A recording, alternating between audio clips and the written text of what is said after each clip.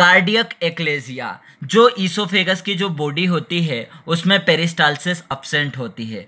और जो lower oesophageal sphincter है, ये लोअर ईसोफेजियल जो स्पिंटर होता है, वहाँ high pressure resting pressure high होता है।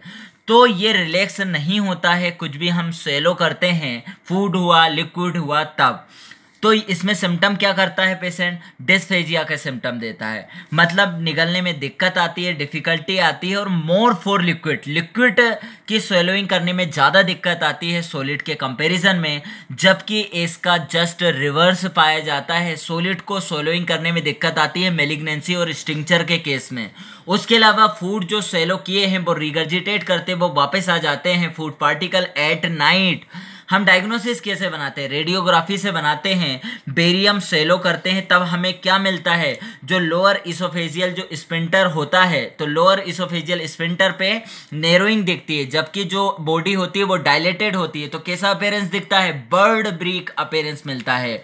उसके अलावा जब मेनोमेट्रिक स्टडी करते हैं तो जो लोअर स्पेंटर है, वहाँ प्रेशर हाई रहता है, जबकि जो बॉडी ऑफ़ इसोफेगस है, जहाँ पेरिस्टालसिस अपसेंट होती है, वहाँ प्रेशर अपने को कम मिलता है लो प्रेशर मिलता है। उसके अलावा अपन एंडोस्कोपी से चेक कर सकते हैं, कहाँ स्टिंचर है।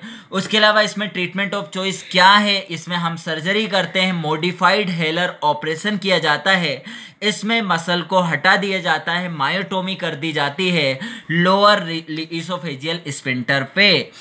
और साथ ही साथ जहाँ जो पर्सन जो सर्जरी के लिए फिट नहीं है, उसमें हम डायलेशन करते हैं लोअर इसोफेजियल स्पिंटर का। डायलेशन करते हैं फोर्सफुल निमेटिक डायलेशन करते हैं। और नॉन सर्जिकल ट्रीटमेंट क्या यूज़ किया जाता है? कार्डियक एक्लेसिया में हम नॉन सर्जिकल मेजर में एंडोस्कोपिक डायलेशन करते हैं बेटो बिटॉक्स इंजेक्शन का यूज़ करते हैं ताकि लोअर स्पिंटर जो होता है वो रिलैक्स हो जाए तो ये हमने कंप्लीट करा कार्डियक एक्लेसिया थैंक you.